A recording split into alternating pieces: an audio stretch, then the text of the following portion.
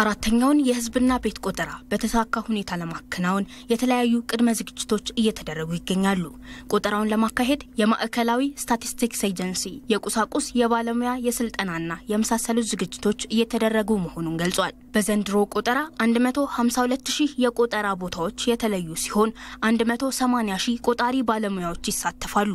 ለቆጠራው የሚያገለግሉ 180 ሺህ ታብሌቶችና አጠቃላይ የቆጠራ ሂደቱን የሚከታተሉ 38 ሺህ ተቆጣጣሪዎችም ተዘጋጅተዋል። ለቆጠራው የተመለመሉ ባለሙያዎችንም በአራት ምዕራፍ በመክፈል ስልጠና ይሰጣል። በዚህም በሀገር አቀፍ ደረጃ ለአራት መቶ ሰራተኞች የአሰልጣኞች ስልጠና የተሰጠ ሲሆን 1200 የቆጠራ ጽህፈት ቤት ኃላፊዎች ስልጠና እየተከናወነ ይገኛል። ከዚህም በተጨማሪ ክልል አቀፍ የአሰልጣኞች ስልጠና ከየካቲት 26 ጀምሮ የሚከናወን ሲሆን ከመጋቢት 12 ጀምሮ ደግሞ ዋና ዋና የቆጠራ ስራ የሚያከናውኑ ቆጣሪዎችና ተቆጣጣሪዎች እንዲሰለጥኑ እንደሚደረግ የማዕከላዊ ስታቲስቲክስ ኤጀንሲ ዋና ዳይሬክተር አቶ ቢራቱ ይገዙ ተናግረዋል። በክፍል ውስጥም ይሰለጥናሉ። ጽንሰ ሀሳቡን የመረዳት የማወቅ ታብሌቱን፣ አሞላሉን፣ የመረጃ የማስተላለፉን፣ ካርታ የማንበቡን ስራ እውቀት በበቂ ሁኔታ እንዲቀስሙ ይደረጋል። በመስክ ደግሞ ሄደው ወጥቶ በአካባቢ ያለውን ህብረተሰብ ወይም ቤተሰብ ጋር ሄደው የመፈተሽ በዛ በ group የሰሩት ላይ ያለባቸውን ጉድለት አርመው እንደገና ራሳቸውን የማዘጋጀት እነዚህ ወደ ሶስት ጊዜ መስክ ወጥቶ ሞልቶ የመመለስ ስራዎችንም ይሰራሉ። በዚህ መሰረት ስልጠናው በመሰጠት ላይ ነው። ለቆጠራው የሚያገለግሉ ቀደም ሲል የተሰበሰቡ የቆጠራ መረጃዎችና መጠይቆችን ታብሌቶች ላይ የመጫን እንዲሁም ለቆጠራው የሚያስፈልጉ የህትመት ስራዎችና የስልጠና ቁሳቁሶችን የማዘጋጀት ስራ እየተከናወነ ነው ተብሏል። ከዚህም ባለፈ ቆጠራው በኢንተርኔት በመታገዝ የሚከናወን በመሆኑ ለዚህ የሚያግዙ ዝግጅቶች እየተደረጉ መሆናቸውን ዋና ዳይሬክተሩ ተናግረዋል። ኦንላይን ወይም በቀጥታ መረጃው ስለሚሰበሰብ ከኢትዮ ቴሌኮም እና ከሌሎች ተቋማት ጋር በመሆን መስመሮችን የ IT infrastructure ኦችን የማዘጋጀት የመፈተሽ እነዚህን ዝግጁ የማድረግ ስራዎችም በአብዛኛው በአሁኑ ሰዓት አጠናቀን ወደ ስራ በሚያስገባ ነው ዝግጅት ላይ ያለ ነው። ለቆጠራውም የሚሰማራው የሰው ኃይልም ብዛት ተደልድሎ ለክልሎች ለሁሉም እንዲደርስ ተደርገዋል።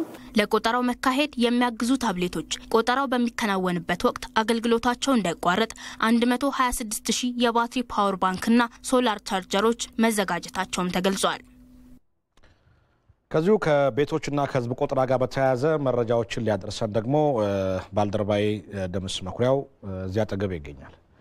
ደምስ እንደምን ዋልክ? እንደምን ዋልክ መሰለ። እስኪ አጠቃላይ በሀገሪቱ የነበረውን የህዝብና ቤቶች ቆጠራዎችን ሲያስቃኘን እስኪ። መልካም እንግዲህ መሰለ ዛሬ እያወራን ያለ ነው ስለ አራተኛው የቤቶችና የህዝብ ቆጠራ ነው። ነገር ግን ኢትዮጵያ ከዚህ ቀደም ሶስት የቤትና የህዝብ ቆጠራዎችን አድርጋለች ማለት ነው። ሶስቱ የቤትና የህዝብ ቆጠራዎችን በተመለከተ እንግዲህ አጠር ያሉ መረጃዎችን ለማንሳት ያክል የመጀመሪያው የቤትና የህዝብ ቆጠራ ኢትዮጵያ ላይ የተከናወነው በ1976 ዓመተ ምህረት ነበር። እንግዲህ በዚህ በ1976 ዓመተ ምህረት በተደረገው የቤትና የህዝብ ቆጠራ ማለት ነው ወደ 81 በመቶ የሚሆነው የሀገሪቱ ክፍል እንደተሸፈነ መረጃዎች ያመለክታሉ። በዚህ ቆጠራ መሰረት እንግዲህ በወቅቱ ኤርትራ የኢትዮጵያ አካል ነበረች። የኢትዮጵያ ህዝብ ወደ 46 ሚሊዮን የኢትዮጵያና ኤርትራ ሁለቱ ተገናኝተው ማለት ነው 46 ሚሊዮን እንደነበረ መረጃዎች ያመለክታሉ። ሁለተኛው ቆጠራ ከዛ በኋላ የተከናወነው በ1987 ዓመተ ምህረት ነው። ቆጠራም አብዛኛውን የሀገሪቱ ክፍሎች የሸፈነ ቢሆንም ሙሉ የሀገሪቱን አካባቢዎች ግን የሸፈነ እንዳልነበረ ነው መረጃዎች የሚያሳዩት። ይህ ቆጠራ ከተካሄደ በኋላም የኢትዮጵያ ህዝብ ብዛት ወደ 53.5 ሚሊዮን መሆኑን መረጃዎች ያመለክታሉ። ሶስተኛው ቆጠራ የተከናወነው ደግሞ በ1999 ዓመተ ምህረት ነው። በዚህ ቆጠራ እንግዲህ ሁሉም የሀገሪቱ ክፍሎች በሚባል ደረጃ ተሸፍነዋል።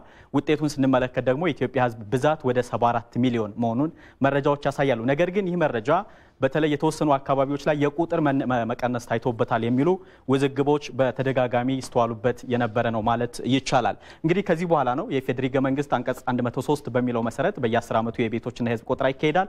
ዘንድሮ መጋቢት 29 ቀን ማለት ነው አራተኛውን የቤትና የህዝብ ቆጠራ ለማድረግ በእቅድ ተይዟል ማለት ነው።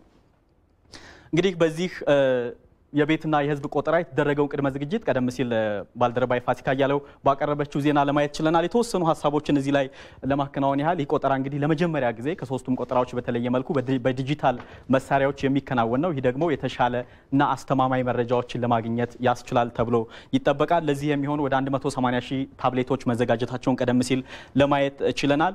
እነዚህ ታብሌቶች ደግሞ ኃይል የሚጠቀሙባቸው ወደ 126 ሺህ ተንቀሳቃሽ የኃይል ማከማቻ ማከማቻዎች መዘጋጀታቸውን power bank የምንላቸው ማለት ነው። እንዲሁም ወደ 30 ሺህ የሚደርሱ በፀሐይ ኃይል የሚሰሩ ተጨማሪ ኃይል ማከማቻዎች መዘጋጀታቸውንም ለማየት ይቻላል ማለት ነው። እንግዲህ በዚህ የቤት ቆጠራ ውስጥ በርካታ ዝግጅቶች ናቸው እየተደረጉ ያሉት። በአጠቃላይ የሀገሪቱ ሁሉም ቀበሌዎች በቆጠራ ክልልነት ተሸንሽነዋል ማለት ነው። በገጠር ከ100 እስከ 150 ቤተሰቦች በአንድ ቀበሌ በአንድ የቆጠራ ክልል ውስጥ ይካትታሉ ተብሎ ነው የሚጠበቀው። መጠየቆች ተዘጋጅተዋል በተለያዩ ቋንቋዎች ማለት ነው። ይህም የዝግጅቱ አንድ አካል ነው ብሎ መውሰድ ይቻላል። ከዚህ ባለፈ እንግዲህ በቆጠራው የሚታዩ ዋና ዋና ጉዳዮች ምንድን ናቸው የሚለውን ለማየት ያክል በቆጠራው በዋናነት ትኩረት የሚደረግባቸው መሰረታዊ የሚባሉ መረጃዎች ጾታን የሚያመላክቱ እድሜ፣ ሃይማኖት፣ ብሔርና የስራ ስምሪትን የመሳሰሉ መረጃዎች በቆጠራው ውስጥ የሚካተቱ ዋና ዋና ጉዳዮች ናቸው። ከዚህ ባለፈም ለመጀመሪያ ጊዜ አካል ጉዳት ያጋጠማቸው ከዚህ በፊት ያልተቆጠረ ለመጀመሪያ ጊዜ አካል ጉዳት ያጋጠሟቸው ዜጎች በቆጠራ ውስጥ የሚካተት ይሆናል። የቴክኖሎጂ ተጠቃሚነትንም የተንቀሳቃሽ ስልኮች የኢንተርኔትና የስልክ ተጠቃሚነትም አብሮ የሚታይ ጉዳይ ነው ማለት ነው። እንግዲህ እነዚህ ጉዳዮች ትኩረት ተሰጥቷቸው የሚቆጠሩ ናቸው። በአጠቃላይ ቆጠራው መጋቢት 29 ላይ ተጀምሮ ከ7 እስከ 10 ቀናት ይጠቃልላል ተብሎ ነው የሚጠበቀው። ውጤቱ ደግሞ ቆጠራው ከተከናወነ በኋላ በስድስት ወራት ውስጥ የሕዝብ ተወካዮች ምክር ቤት ቀርቦ ስድስት ወራት ከወሰደ በኋላ ይፋ ይደረጋል ተብሎ ነው የሚጠበቀው። በአጠቃላይ ይህ ቆጠራ እንግዲህ በማህበራዊ ፖለቲካዊና ኢኮኖሚያዊ ዘርፎች ሀገሪቱ ለምታከናውናቸው ስራዎች የመነሻ መረጃ ሆኖ ያገለግላል ተብሎ ነው የሚጠበቀው። መሰለ እናመሰግናለን። አመሰግናለሁ።